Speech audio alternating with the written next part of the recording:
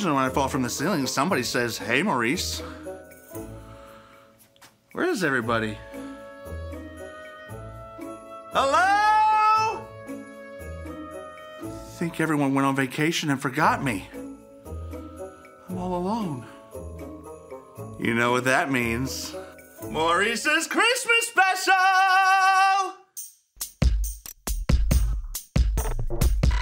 We are Connect HQ. Every day we help the people of the world. Live God's way. We look for the links. Make the connection. And you never know what might happen.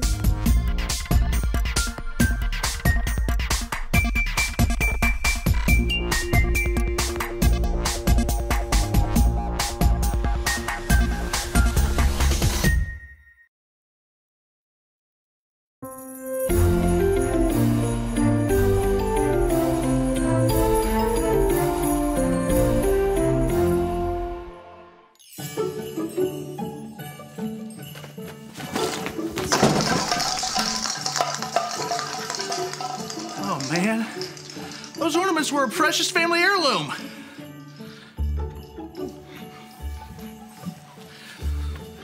Season's greetings.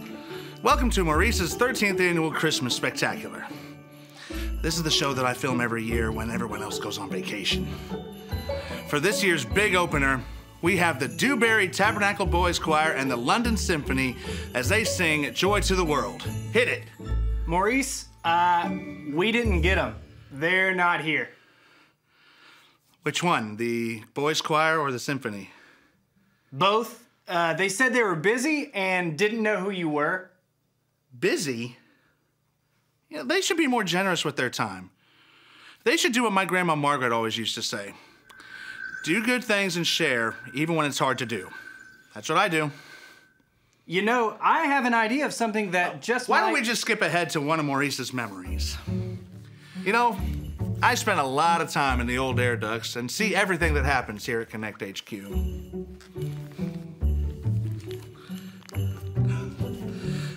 This is the time I was a DJ at the Dance-a-thon. Remember it like it was yesterday. Who knew you had such great DJ skills, Maurice? I'm teching tools by day and checking fools by night. Sorry, not sorry. Another contestant. What's going on over there, Rodney? It appears a leg cramp is about to take out contestant 81. Come on, Luke! Keep dancing! Keep dancing! Worship is all the time, no matter what happens. He's right. We should worship God all the time, even when things go wrong. Ooh, and contestant 81 is down for the count. We're down to our final two contestants. Any last words? God is good all the time, even if a cramp takes you out of a dance-a-thon that was created on a whim. Wise words from a strong contestant. Go get some water, buddy.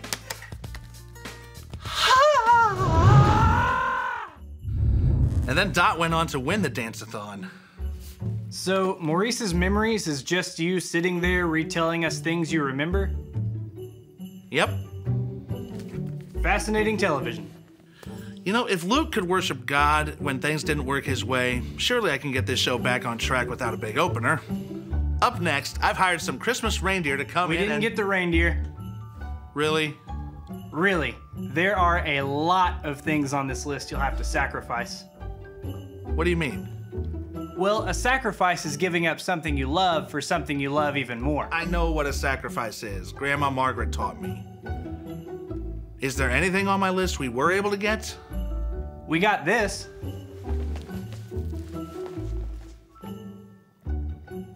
One candy cane.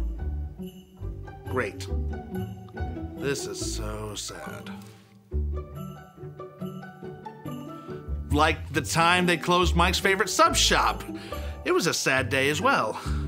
Stand by for another memory.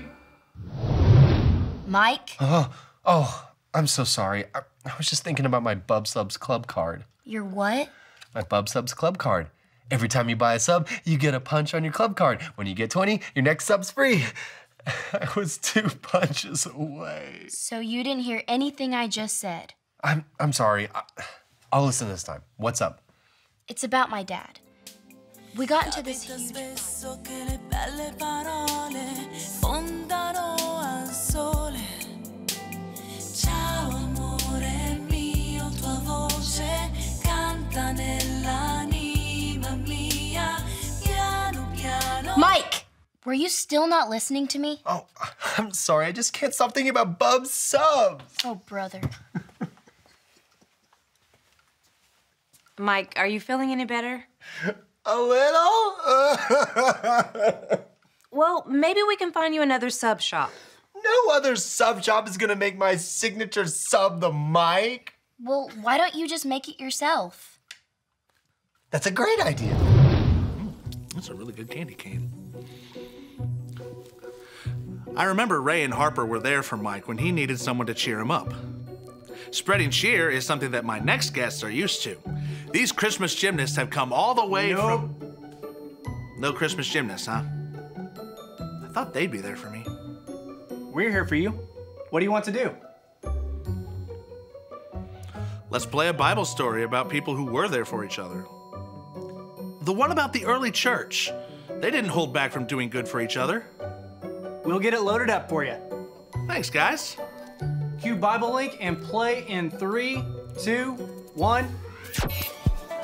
This is the story about the God who loves us in the Bible. We find truth and purpose to love God and love others. We're searching God's word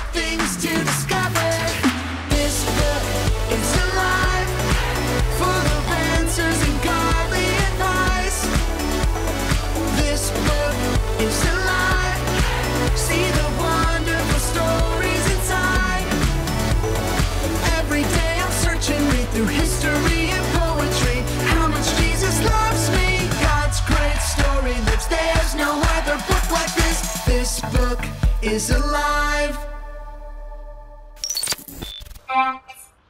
The church is the building we go to when we want to learn about God. Nope, this is a church. Those are people. Yep, in fact, it's you and me. You kinda lost me. The church isn't a building, the church is the people who have made Jesus the leader of their lives.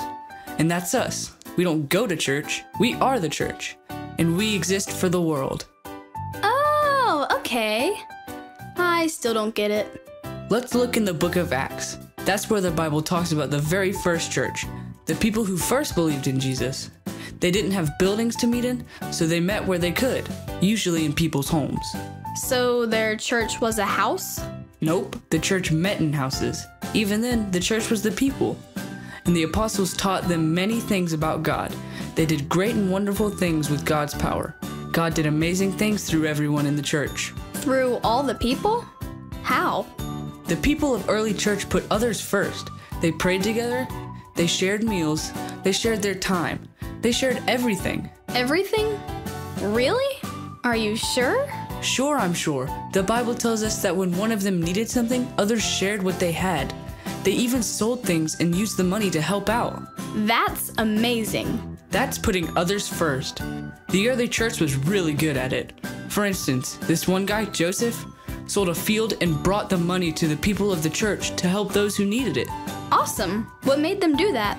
They all agreed. They all wanted to live like Jesus, and the apostles told them how Jesus put others first when he died on the cross and went up to heaven. The early church learned about Jesus and lived like him. So they put others first. I think I get it. Great, but you haven't heard the best part. When others saw how those first church people lived, it made them want to follow Jesus too. In fact, more people decided to follow Jesus every single day. Wow. God did do amazing things through the first church people. And God still does amazing things through his people when they live like Jesus and put others first. Right. Because we are the church. And we exist for the world. The early church shared everything and made sure everyone else had what they needed. They cared for everyone in need, unlike some Christmas gymnasts I know. Maurice, we've got to go to a commercial break. We'll be right back with Maurice's 13th annual Christmas special. How often does this happen to you? Ah! Ah! Ah! If you find yourself plummeting from perches, try Pete's Plunge Pillow Pads. They provide protection so you can pick up production and perform peacefully. Pete's, the perfect problem solver for your less than pleasant predicaments. I'm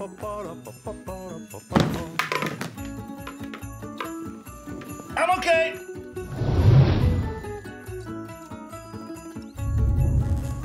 Welcome back. What a tangle I find myself in. Thank goodness that my very special guest star can. Wait, we didn't happen to get the guy who plays Luke Skywalker, did we? He said no. Great, I'll have to untangle myself then. We could help. While we're doing that, let me tell you about another memory I have of someone sacrificing something.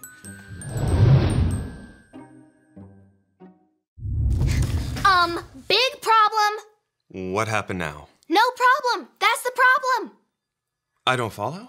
It was too easy to give those toys and apples to the shelter because I wasn't doing anything with them. But Dot, you gave to someone who needed something. That's not a big problem. But Ray said, when I have faith in Jesus, I can give generously. I gave, but I could give more, like it says in the book of Hebrews, chapter 13, verse 16. Want me to say that with you? Yes. Hebrews 13:16. Hebrews 13:16. And don't forget to do good and to share with those in need. And don't forget to do good and to share with those in need. These are the sacrifices that please God. These are the sacrifices that please God. I want the kind of faith that really sacrifices something. That's not a bad thing to want. But what else do I have to give? Well, sometimes it's not about giving things, it's about giving time or attention. Bingo! You can go back to what you were doing. Glad I could help. I remember Dot had a great verse from the book of Hebrews. It went like this Hebrews 13, 16. And don't forget to do good and to share with those in need. These are the sacrifices that please God. Everyone has needs or troubles. Sometimes it's being trapped in a strand of Christmas lights. Or other people, they're just sad or lonely or sick, or they just need prayer. We need to look for those people and help them out no matter what.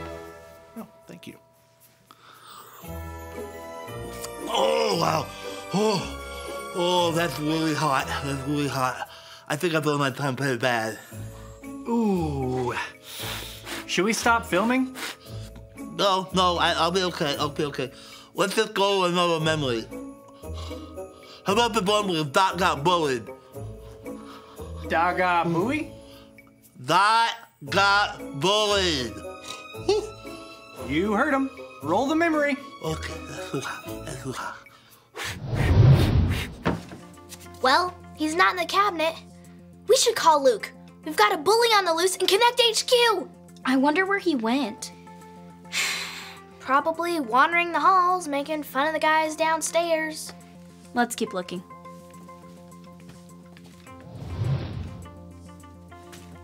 Mike, I think I lost our walk in.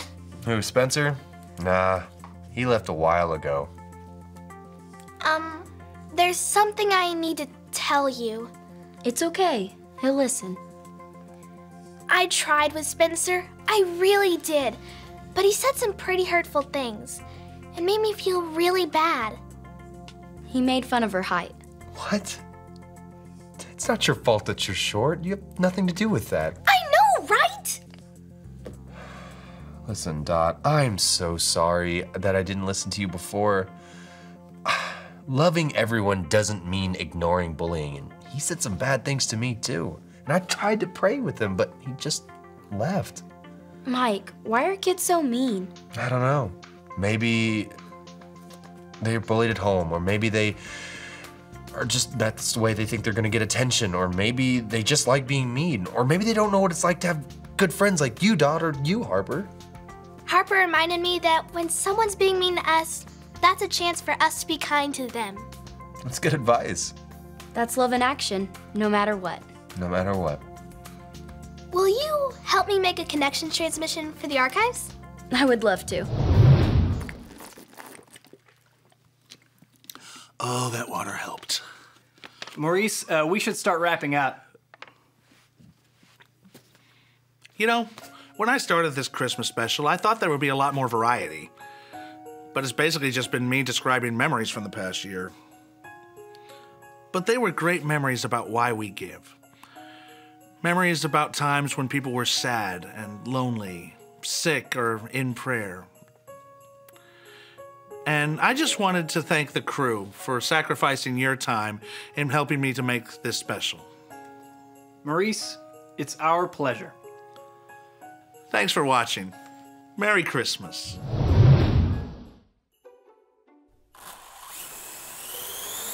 Hi, my name is Maurice, and I don't get to do this very often.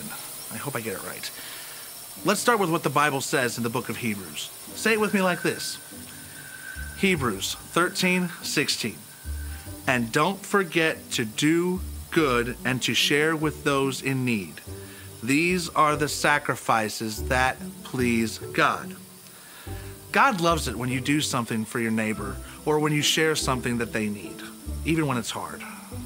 The early church didn't hold back from doing good for each other or sharing with each other.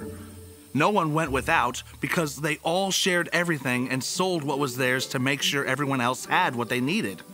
The early church cared for each other so well, other people could tell they loved Jesus and followed him. This year at Connect HQ, we've seen all kinds of examples of doing good and sharing with those in need.